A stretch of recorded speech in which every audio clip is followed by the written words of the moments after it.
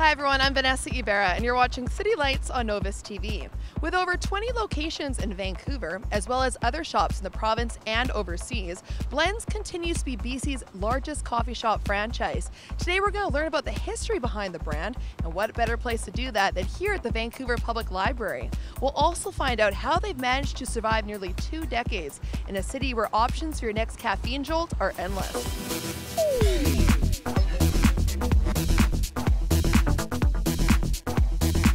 Mark, Blenz started in the early 90s, I know, here in Vancouver, actually just a few blocks away from where I live at Robson and Bute. Can you tell me the story of um, the initial startup of Blenz? Yeah, it started in February 1992 at the corner of Robson and Bute.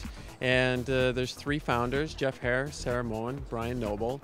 And uh, Jeffrey had worked in the coffee business in Ontario, moved to Vancouver, and noticed that there was a real opportunity for another uh, specialty coffee concept at the time got together with Sarah, then they met Brian, and uh, got the first location uh, at Robson and Bute. And the real, you know, the real reason behind that location was that they were looking for something that was uh, high profile. Um, really wanted to make a, an impact in the marketplace. So Robson Street being the busiest retail street uh, west of Toronto, opened up the first location and grew grew from there. And speaking of rivalry, I know in Vancouver we're huge coffee drinkers, obviously, of Starbucks, Cafe Artigiano, every corner you go to. How do you continue to pull people in and have them um, keep chopping up Blenz? Yeah, that's a great question. Uh, really, it's three factors. One is our product, our people, and our So, with our product, for example, we use real Belgian chocolate in all our chocolate based drinks. So, there's no syrups, no powders, no artificial ingredients. We use competition blend uh, espresso, and one of our staff members is the latte art champion, international latte art champion, uh, and she's been training all our baristas on award-winning lattes for a long time. Our people, we have great franchisees throughout the system. Uh, they're enthusiastic, they work hard, and the baristas are real baristas, uh, no automatic machines, everything is as a traditional Italian barista should be. And then our locations, we, you know, we work really hard to pick high-profile corner locations that have lots of people walking by. They're in places, you know, like this where where it's very convenient for people's first visit. Uh, they come in, they have a great experience with a great product, and that gets them to come back over and over again.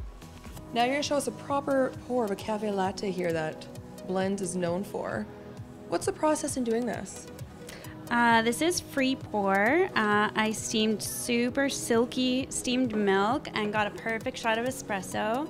And the end result is this rosetta or flower like latte art. And how long would that take for someone like me to perfect who's never done barista training before? Oh my goodness, I've trained hundreds of Blenz baristas to be baristas and to do latte art. And it takes people sometimes a whole day, one hour, a couple weeks. And is it those little touches you think that keeps people coming back to Blenz? Just little, you know, things that make you unique versus your competitors? I think so, but also in Vancouver, it's almost become like an industry standard. So in Blenz, what we do is uh, to keep everyone's skill level up is we offer latte art workshops. That's open to every Blenz barista. They don't have to schedule themselves. It's a free service to our franchisees. Um, and they show up at our Blenz training kitchen and they learn latte art, they learn uh, different barista skills and techniques and communication skills. So it's a lot of fun. Most West Coasters would agree there's nothing better than that first sip of coffee. With ongoing attention to detail, as well as an inspiring startup story, there's no doubt Blenz will continue to fuel our caffeine addiction for years to come. For more information on the franchise, just go to their website, www.blenz.com. And remember, life is too short for bad coffee. For City Lights on Novus TV, I'm Vanessa Ybarra.